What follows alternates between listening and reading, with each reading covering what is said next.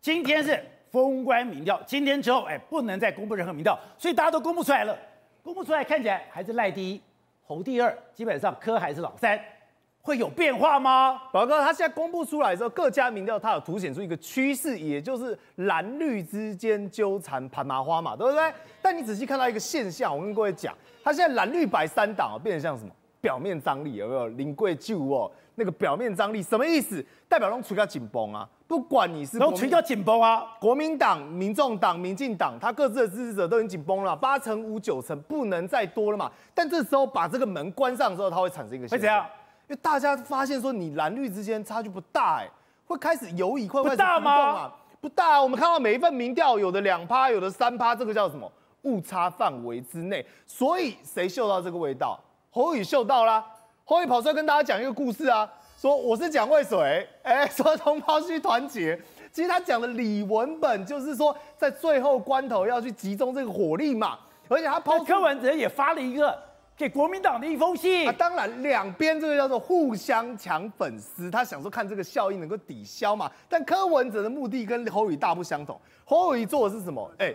你希望能够未来看到柯文哲，对不对？但现在柯文哲很有可能一输，我们就一起沉入海喽。所以你如果要看到他，我邀请他加入政府嘛。但柯文哲打的算盘不一样，柯文哲玩的是说，哎，吹哨壮胆，我现在民调真的第二名，有机会可以超过赖清德，所以国民党支持者快点来投我。但这时候必须要反问一个问题哦，当这个东西走到后来，大家已经没有民调再可以验证哦，柯文哲也没有办法再碰轰了，选民自然而然在接下来只剩下什么东西？造势场合，只剩下一场一场造势场合，哎，剩下街头民调，那个叫真正的街头民调，哎，所以当国民党在北中南三万、五万、六万、七万一场一场办，国民党气势会不会起来？所以这个效应到时候到最后面，各位玩的其实是最后他只决定在两个关键点，一个叫西瓜票，西瓜票就是我没有任何政党，但我想要去投赢的那边，另外一个叫做什么？就是从。蓝白之间会跑票的有多少嘛？所以联合报做的那个民调很清楚，他说不多，移动的不多，大概就是四趴五趴够了啦。为什么？因为现在输赢胜败就是在三趴之内啊。所以两边现在都在正式尝试弃保这个动作嘛。但其实柯文哲他有一个最大的破口、最大的锚点，他没有忽略掉的。现在国民党蓝白河需不需要柯文哲？其实不需要了。你看到台中？你不觉得那个现象很诡异吗？一个蔡壁鲁，南部的也来，北部的也来，新北也来，新竹也来，为什么？